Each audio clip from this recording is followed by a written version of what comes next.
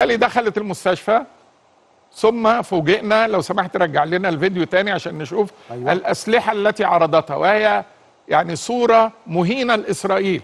لأن ما وجدته عبارة عن كلاشينات مجموعة كلاشينات لا يتجاوز عددها الخمسين في أقصى الحالات. هنرجع نشوف الصور اللي يعني بثتها إسرائيل عن الأسلحة التي حصلت. عليها ودي أسلحة شخصية آه. دي أسلحة فردية. آه. ممكن يكون حد من المستشفى أو حد من اللي لجأوا إلى المستشفى بيحموا نفسهم ليه ما أسلحة. هم اللي دخلوا دي الأسلحة أسلحة أو ممكن يكونوا. هم اللي حطوها آه. لكن دي أسلحة فردية اتفضل. يعني لا- تقاس ب يعني أهو عددها ده كل لا اللي. يتجاوز ده كل اللي لقوه آه آه. آه طيب وكتائب القسام آه. وغيره اللي لقوه ده لا يمثل شيء آه. بالنسبة للدعاية التي بثتها إسرائيل على مدار الأيام على مدار 40 يوم النهاردة اليوم الأربعين نعم فانتظر الجميع أن يوم الأربعين سوف تعلن أنها يعني صور ما, يس... ما تسميه إسرائيل صورة النصر.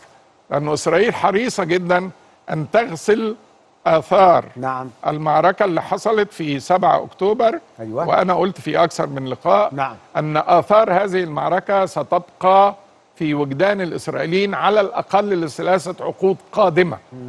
وهي بتحاول رفع معنويات مواطنيها وإعادة الهيبة المفتقدة لجيشها وقوتها بما يسمى بصورة النصر فهي كانت حريصة أن دخولها الآن صورة النصر نعم. هي صورة باهتة مهزوزة حضرتك بتقول فضيحة، اللي عرضوها لا تقنع. آه لا تقنع أحد آه. وبالتالي ربما انسحبت الدبابات لكنها ما تزال تحاصر دار الشفاء بالكامل البعض يعتقد إنها في الأيام القليلة القادمة قد تقدم على هي فجرت نفق أو مش نفق هي قبو بتاع المستشفى.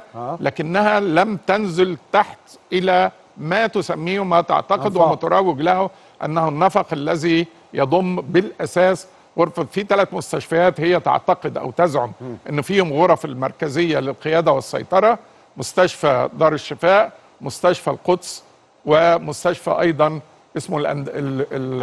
الأندونيسي؟ الأندونيسي الأندونيسي هي تعتقد إنه أو تزعم إنه غرف العمليات المركزية تحتيهم وأيضا تزعم يعني كذبا نعم. إنها ستصل إلى أماكن الرهائن وده موضوع ممكن نتكلم فيه لأنه نعم. قضية مثلا مهم. حاضرة أيضا في على سبيل ده ما حصل اليوم وجبنا احدث صور لما تكشفت عنه حاولت تستغله لكن بالتأكيد هو يشكل فضيحة ودعاية كاذبة يعني حاولت تروج ليها فانكشفت هي حد قال إنه يعني تعبير مهم جدا نعم.